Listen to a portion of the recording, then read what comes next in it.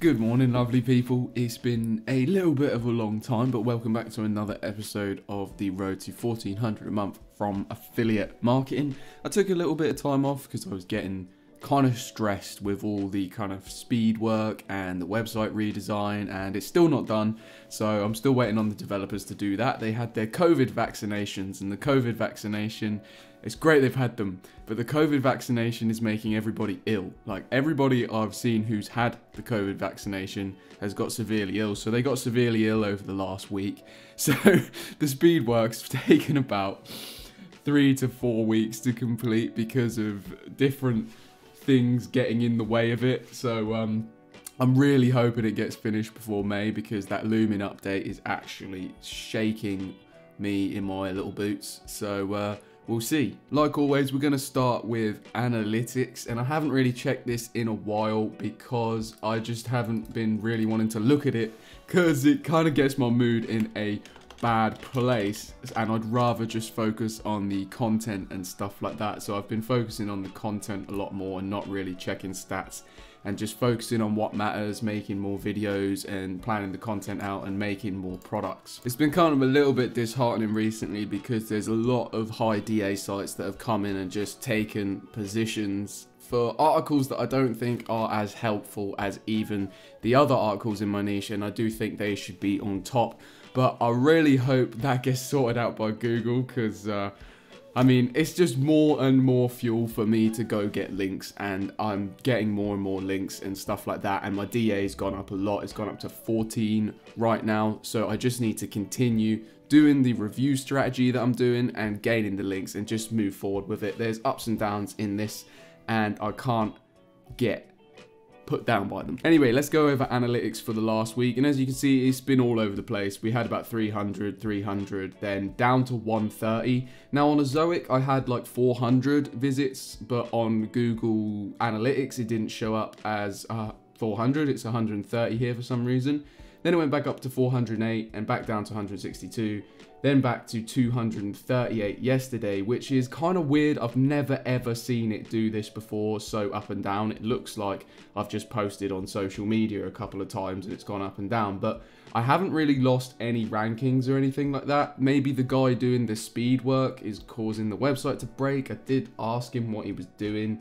Um, he said he was sick, so he said he hasn't been uh, working on it. So I'm not really sure what's going on here, but we'll just, yeah, we'll just go forward with it and we'll just keep writing content and just keep going because there's just no point looking at this and feeling disheartened by it, even though I will, but you know. Anyway, moving on to Google Search Console, as you can see, the clicks have been around the same. Like this is why I'm getting confused with the 180 over there because we still be getting around 300-ish clicks a day roughly. I mean, 200 there, 300, 300, 300, back down to 270 there. So it doesn't really seem like there's much of a difference in Google Search Console as opposed to analytics. So I don't know why analytics would be reporting it that differently. I don't know. Maybe the analytics is set up wrong or maybe it's a caching plugin. Who knows? On the CTR front, we've still been getting around 2-ish percent a day. Now, I have been testing out different titles on Ezoic, and different titles on Ezoic are actually doing, some of them are doing much better, and some of them doing much worse. So it's good to see, like, I mean, it's a very, very, very small change in the title name. I think I took out the word of, and it got like a 7 or 8% higher click rate, and I was like, wow that really does make a difference. So your titles, man, your meta titles, you should be really, really giving them a lot more weight. I didn't give them that much weight, but wow, they are important. It is insane to see what people click over other things. Anyway, moving over to the first affiliate, we've had a couple of sales this month. You know, it was, it was going steady like it usually does. And then the last couple of days is just nothing. And I have checked the affiliate links and everything like that. The affiliate links are working completely fine. There's no broken links. They haven't changed their link structure or anything like that. So maybe this is the drop in traffic. I'm not really sure what's happening. Sometimes you just don't get some sales, but I haven't seen this much of a gap for a long time. So um, a little bit worrying. Then if we move over to Rakuten, we started off the, the, the month really well. We had a lot, a lot of sales and then mid-month we're just getting nothing. And then really it's pretty barren around here. On the 20th, we've had about two $14 commissions, then dollar, dollar here. It's not been a great month to be honest, but it's okay, sometimes we have bad months. Now if we go over to the next affiliate, as you know, last month we had about $800 on this one and it went absolutely crazy. And this has gone down as well this month as well. Now this is confusing because the positions have not been lost at all. Like there's no changes in the search rankings here. So we've getting a getting $13, then we had $15, 20, then $76, which is very nice, 15, 12, 30.5, and then not much here. As you'll know, last month we had a lot of $150 commissions, which is the Fiverr Pro plan, and I have actually recommended another Pro plan on here, but no one seems to have been taking it out this month, and I'm not sure why that is. Is it because it's April? I I see no correlation in why this would go down, but to be honest, last month was a bit of an outlier, so maybe last month was not the usual earnings that you're supposed to get from this affiliate, and it was just, yeah, I, yeah, who knows. Then if we move over to the next affiliate, we've made about £26 this month. It's been pretty slow, as all the other ones have this month.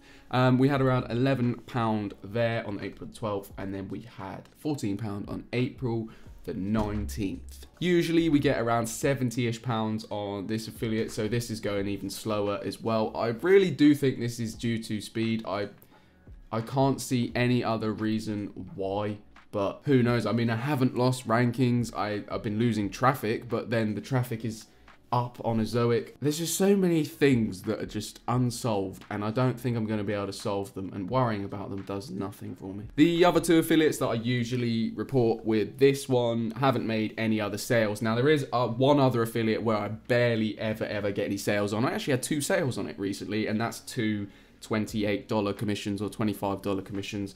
I'm not going to bother finding it because, to be honest with you, I don't really remember. But I got an email saying that I got commissions. So boom, great. Then if we go over to display ads, finally, we had about $3.30, $4, around 4 to 5 to $3 a day. And then as you can see, we've been having around 400 visits recorded on Ezoic, but on analytics, we're getting 300 and 150.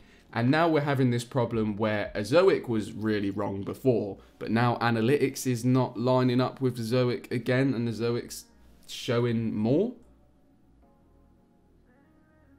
I've been having a few issues with Ezoic as well. I changed like literally tiniest thing on my blog theme.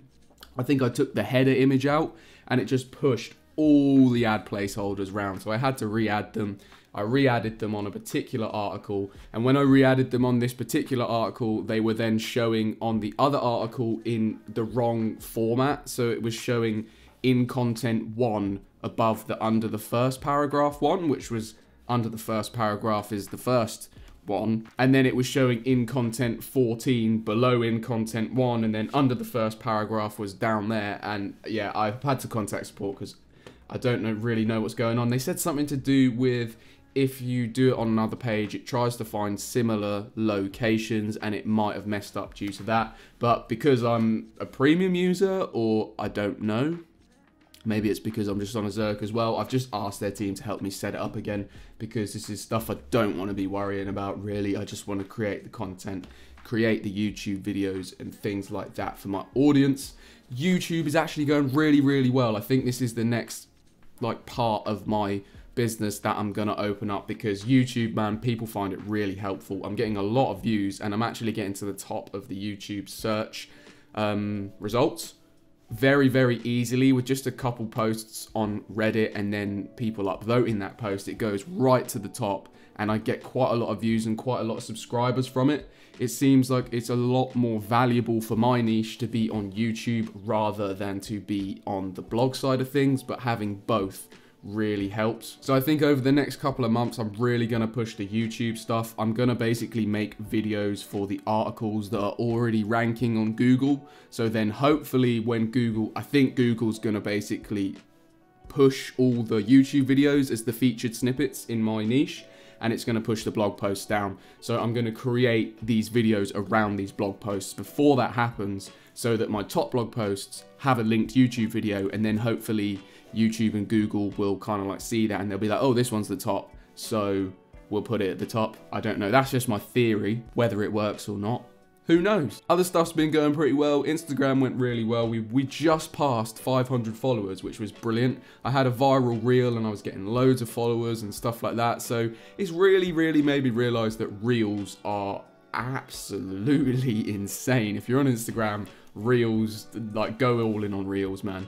Put a couple of IGTVs up and a couple of posts up, but reels are really where you're going to get the organic traffic. Other than that, the, the site is should almost be done. It should almost be done.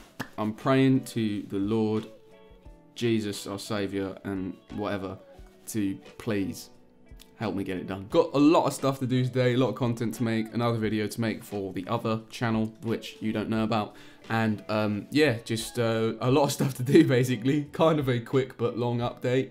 Bit of a ramble and me letting out my stress on camera, but uh, yeah, it's okay. I'm gonna do it no matter what. Whatever stands in my way is just a hurdle that I need to jump over, and I just need to keep going, keep producing the content, and it's gonna it's gonna be there, man. Um, it's gonna be an authority site. I know it.